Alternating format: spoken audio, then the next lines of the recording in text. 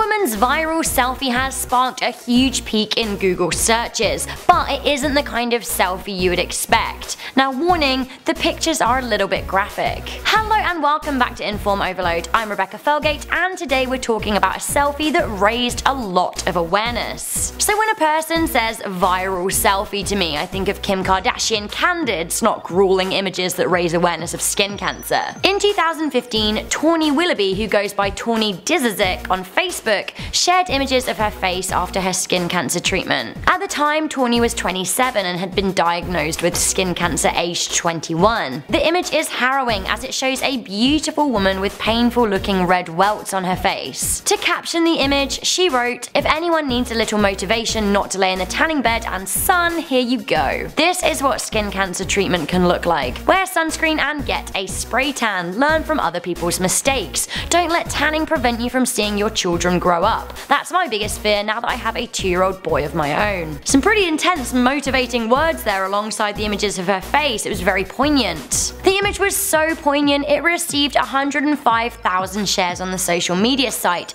and sparked a debate of 17,000 comments. However, the reason we're talking about this now is because a new study of the internet search data actually shows that Tawny's selfie sparked 300,000 Google searches of skin cancer. Now this raised a huge amount of awareness for the issue. I guess sometimes all it takes is a real person with a real story to scare people into taking better care of themselves. Tawny said that her skin cancer came from excessive use of sunbeds. She said that she would lay up to four times a week, but she did stipulate that she would never lay more than once a day. She said that the bulk of her tanning came in high school. She revealed that she had basal cell carcinoma five times and she visits the dermatologist every 6 to 12 months. She warned people to check on anything suspicious such as moles or new skin spots. Now Tawny is 30 and much healthier, and thanks to her, a lot more people are now in the know about what causes skin cancer and how to spot it in its early stages. Okay, before I go, I'm just gonna respond to a few comments from a video I did yesterday about the Dear David ghost development, which is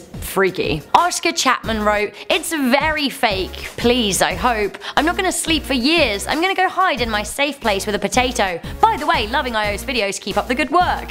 Thanks, Oscar. I really hope it's fake too, because if it's not, like, what the actual heck is happening in this world? Creepier still, E-Girl Sunshine said, For some reason, when I saw the drawn picture of Dear David, I thought he looked familiar, but I've never seen it before. Yep, I feel like a lot of people are feeling that way. The Bear Gamer YT also said, I've seen that boy. Yikes, not a good sign guys. Let's hope he doesn't appear to us in our dreams. Stay away David, you're not welcome here. So that was one real life horror story with a positive ending and comments from a possibly fake horror story that is as of yet still unfolding. Do let me know what you think to this story in the comments section down below, but for now, I'm your host Rebecca Felgate. Thank you guys for tuning into this episode of IO. Make sure you give this video a good thumbs up, share it with a friend, and stay subscribed for more daily news. If you want to keep on being overloaded with information, why not check out our video about a terminally ill child's trip to see Santa and our story on the Keaton Jones bullying saga. See you next time!